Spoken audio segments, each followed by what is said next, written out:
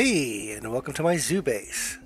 You can always check my Twitter feed for extra pictures and behind the scenes. Now I'm going to kind of go over how I set up my sawmills whenever I'm working on a base. I've got a lot of extra mills on this base when I destroyed it. And I usually set my Sawmax 2 to 1.2 by 1.2 instead of 1.0. And those are the straws I use. It just gives you a little extra cushion when you're chopping so you don't have to uh, fill blueprints twice. On the XL, I set that to 2.6 by 2.6.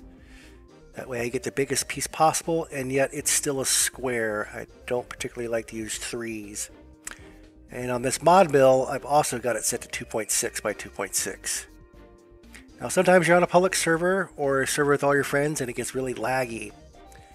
So you can put a tiny tile inside and that will convert your mod piece into your straw a lot easier. Now, my workflow might be a little different.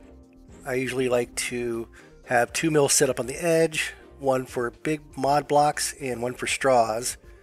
And we'll go ahead and put this mod block in. You can see it hits the tile. And that just gives it a little extra time to convert if you're on a laggy server. And if you have these side by side, you can use these straw mills for the little branches that won't process in your big sawmill. Uh, another thing I do on laggy servers is sometimes I'll put down a pressure plate and attach it to a hatch.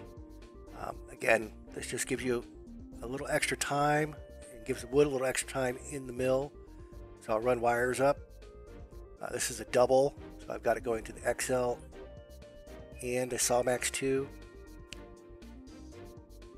And essentially you just put in your wood and you stand on the pressure plate just long enough for it to turn blue.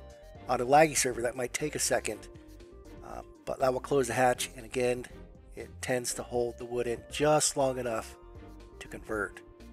So it's, it's another way to overcome the, the lag. Now, mod mills, I use occasionally, usually they break, but let's cover how to make one. I've got my assistant, thanks Don for helping me out making this mod mill.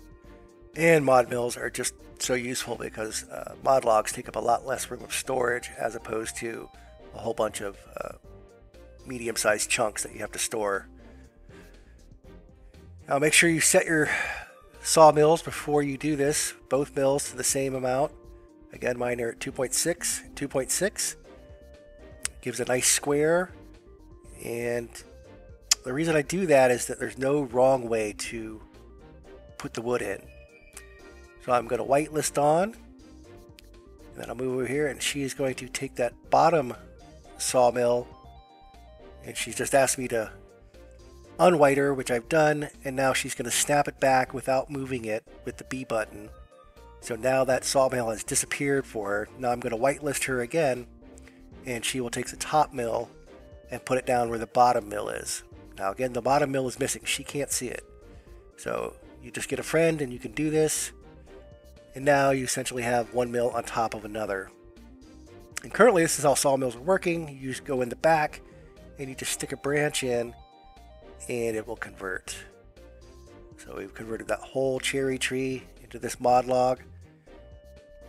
And again, I don't trade or sell. This is more about storage because I, I want to use most of my base for building and not for storage.